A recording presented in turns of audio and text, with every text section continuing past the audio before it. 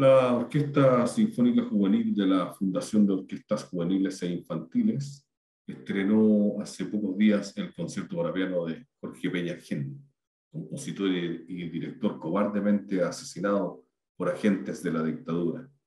Mi reconocimiento a la Fundación de Orquestas Juveniles, que ahora, luego de la muerte de su fundador, el director Fernando Rosas, vuelve por fin a estar liderada por un músico, un compositor y de paso, han convocado a una de las mejores batutas nacionales, el director Paolo Bartolomeoli, que ha demostrado también su compromiso con la música de los compositores chilenos.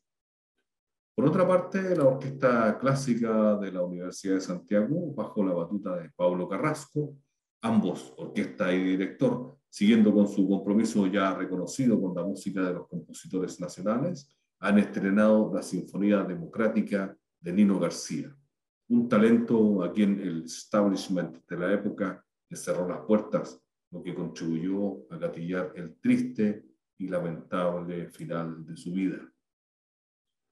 Vengo yo hace años levantando la voz sobre la profesionalización de la actividad creativa de los compositores y la puesta en valor de los creadores chilenos eh, de todos los tiempos. Entonces, va la idea. Si hay una orquesta sinfónica juvenil por región, tenemos 15 orquestas. Qué lindo sería que cada una de ellas eligiera una obra de compositor mayor de 65 años o tal vez también ya fallecido. Pongo la edad eh, de 65 considerando que en Chile es la edad de jubilación. Eh, por supuesto, hay que contemplar el pago por los derechos correspondientes. Por otra parte, se implemente el sistema de compositor residente, un sistema inventado hace muchos años en muchas partes del mundo, a lo cual pueden postular los compositores de entre 30 y 65 años, a quienes se les encarga una obra y se les entrega un honorario, por supuesto, justo por su trabajo, considerando que hay un estreno y que es un trabajo.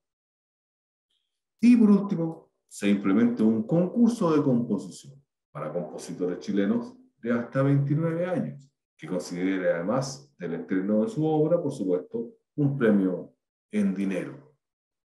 Tendríamos entonces 45 obras de compositores nacionales siendo estrenadas y o reinterpretadas en las programaciones de orquestas juveniles de la Fundación de Orquestas Infantiles y Juveniles de Chile al año.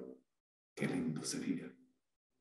Todo lo anterior sin considerar lo que se puede implementar con las orquestas profesionales que reciben aportes del Estado, lo que aumentaría sin duda la cantidad de obras nacionales en cartelera y a la vez contribuyendo a la profesionalización de la práctica creativa de los compositores nacionales. Digo esto además de la 20% o el porcentaje, que no recuerdo cuál es, que están de alguna manera obligadas las orquestas que reciben aportes del Estado para programar compositores chilenos. Pero la idea del compositor residente y del compositor, eh, del concurso de compositores dignos para jóvenes sería una muy buena idea. Algunas orquestas ya lo hacen, como la Orquesta Marga y la Orquesta de Copiapó, por ahí también la Orquesta de Concepción ha hecho algo al respecto. Esto es, por supuesto, solo una idea perfectible, pero el fondo es en aras a contribuir al desarrollo de la música nacional. Necesitamos como país conocer y reconocer a nuestros compositores. Necesitamos como sociedad entender el valor de la creación artística. Necesitamos al mismo tiempo poner en valor el quehacer de los profesionales que se dedican al arte, a cultivar y crear la belleza que representa nuestros tiempos y a la vez contribuye al desarrollo humano. No sea que en el presente y futuro ignorantes administradores del Estado o nosotros mismos como sociedad contribuyamos a enterrar nuestros talentos, tal y como son los casos de Jorge Bellagén y Nino García.